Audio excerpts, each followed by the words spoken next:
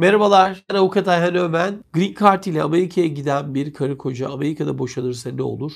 Taraflar kartlarını kaybeder mi? Kaybetmemesi için ne kadar evli kalmaları gerekir diye takipçimiz bize soruyor. Burada kastedilen durumdaki çift Green Card'ı biri çekilişten kazanıyorsa onlardan biri ve diğeri de ondan dolayı hak kazanıyorsa ikisi de vizelerini aldıktan sonra göçmenlik vizelerini ve Amerika'ya giriş yaptıktan sonra Green Card hakları oluşuyor.